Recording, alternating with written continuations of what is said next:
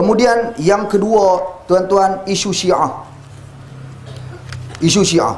Dia kata di sini ustaz, cerita sikit Syiah. Syiah kebetulan dia kata ramai di Kedah ketika PAS pegang Kedah.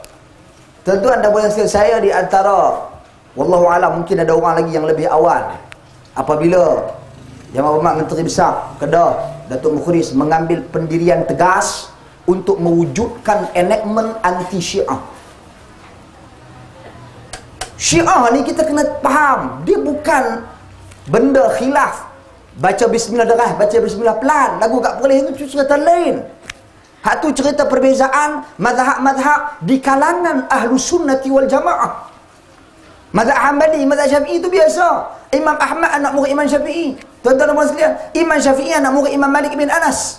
Imam Syafi'i belajar dengan anak murid kepada Al-Imam Abu Hanifah, Muhammad bin Al-Hasan Asy-Syaibani. Mereka ni ada kaitan, tak berkelahi pun. Itu tak ada masalah, orang dulu.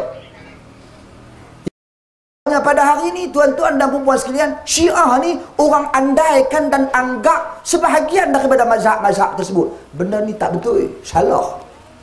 Sedang hadirin tuan-tuan dan puan-puan sekalian. Syiah pada hari ini, Syiah pada hari ini, tuan-tuan dan puan-puan sekalian, kita perlu tahu, kita perlu ingat bahawasanya perselisihan kekhilafan antara kita dengan syiah ini adalah kekhilafan akidah kekhilafan prinsip. Benda prinsip agama bukan benda kecil. Khilaf tentang isu sahabat Nabi kapiak tak kapiak? Tuan-tuan dan sekalian adakah benda ni kecil ke? Sahabat Nabi kita duk cerita daripada kecil pasal Abu Bakar. Kita duk cerita daripada kecil pasal Umar duk cerita pasal Osman semua ada kelebihan masing-masing. Abu Bakar peristiwa hijrah. Takkan siapa tak tahu cerita dia. Ni nak main awal Muharram. Kita dah cerita pasal hijrah. Dalam Gua Thur, apa yang berlaku? Umar Al-Khattab. Siapa yang tak tahu kisah dia? Sehingga kan Nabi menceritakan bahawasanya jalan-jalan dalam Madinah yang Umar lalu, setan tak berani lalu. Uthman siapa tak tahu? Yang Nabi kata eh, ala tastahi min rajulin alladhi yastahi min malaika. Kamu tak malu ke kepada orang lelaki yang malaikat pun malu kat dia? Tapi puak syiah duk bincang depa ni kapiak.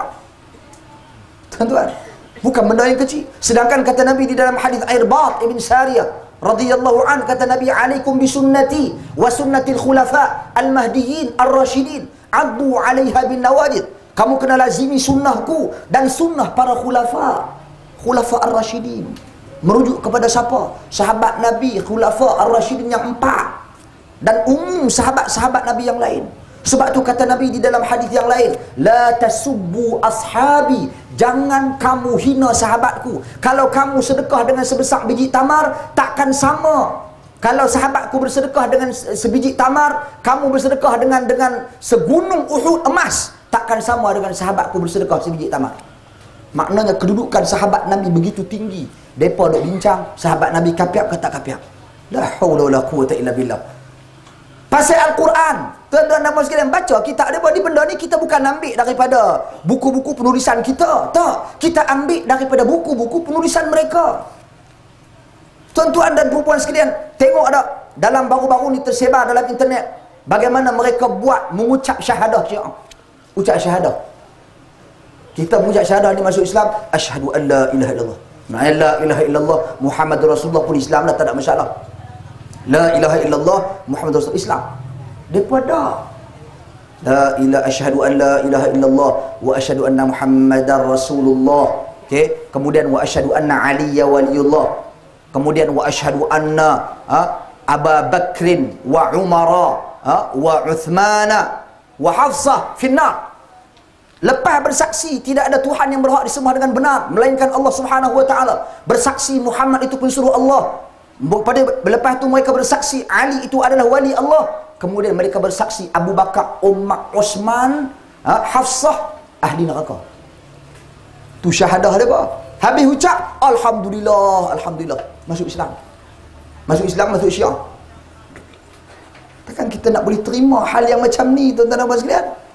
Sedangkan kita sunnah-sunnah harian kita dalam kehidupan kita daripada mana kita nak ambil kalau bukan daripada hadis Umar dan keturunan dia. Hafsah isteri Nabi banyak menukilkan hadis-hadis Nabi. Aisyah yang Syiah tuduh kapiak penzina, pembohong, pendusta. Isteri Nabi yang banyak meriwayatkan hadis-hadis Nabi. Perempuan yang paling banyak riwayatkan hadis. Aisyah radhiyallahu anha. Lelaki yang paling banyak hafal hadis. Abdullah ibn Umar. Anak Umar. Minta maaf. Abu Hurairah radhiyallahu anhu juga dikafirkan. Anak Umar juga banyak hafal hadis. Abdullah ibn Amr ibn Al-As juga banyak hafal hadis. Tuan-tuan dan puan sekalian mereka-mereka ni sebahagian besar dikafirkan oleh puak-puak Islam. Jadi bila dikapiakkan mereka, dikapiakkan sahabat-sahabat Nabi ni, kita nak ambil agama daripada mana? Hadis-hadis mai daripada Abu Bakar, mai daripada Umar dan keturunannya, mai daripada Uthman banyak pasal hadis wudu, mai daripada siapa? Kalau bukan hadis Uthman yang tunjuk cara berwudu. Uthman yang tunjuk. Sahabat Nabi tanya, tu boleh tak Uthman hang tunjuk macam mana cara Nabi wudu? Dia kata hang buat mai bekas ke aku? Mai aku tunjuk ke hang. Ambil wudu. Jadi demikian tuan-tuan dan puan sekalian, kita itu bab sahabat. Bab kedua bab Quran. Quran sendiri baca dalam kitab mereka Usulul Kafi. Apa yang mereka tulis pasal Quran, apa yang mereka bercakap pasal Quran. Quran kita tak lengkap, Quran kita tak cukup.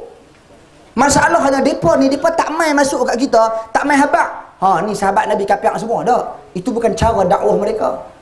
Depa dekati dulu, depa ikut apa yang kita nak dulu.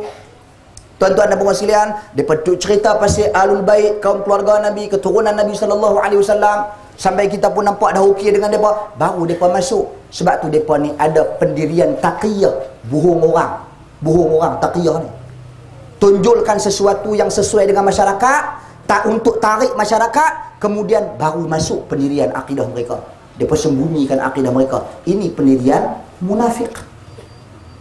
Sebab tu saya menyokong penuh dan menyarankan Negeri-negeri dalam negara ini Malaysia Turut melaksanakan enactment anti syiah dan saya kira majlis fatwa kebangsaan juga perlu bertegas dalam isu ni. Bila kita tak bagi tak bagi semua kita tak boleh kata bagi ke orang tertentu orang lain boleh buat tak boleh buat. Nak buat sendiri boleh. Jangan tuan-tuan benda ni dia penyakit. Kita duk berjiran dengan orang. Duk berjiran dengan puak-puak ni. Dia pun masuk sikit sikit sikit. Yang boleh berkembang ni pasal bermula dengan sikit. Kalau kita tak sekat tak tutup tuan-tuan dan puan-puan sekalian ia akan memberi kesan yang negatif. Sudah pasti. Jadi yang seherannya bila enactment ini cuba dibawa dalam dewan undangan negeri dibentangkan kita mengharapkan sokongan daripada orang Islam. Ahli sunnah wal jamaah. Kawan-kawan kita daripada parti sebelah sana. Tapi apa yang berlaku di sana terdapat tentangan. Sembilan orang tak setuju.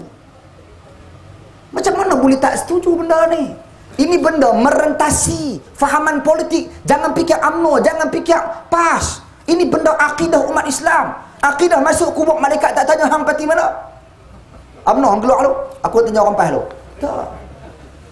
Tuan-tuan malaikat tak tanya lagu tu. Malaikat tanya tentang pendirian akidah.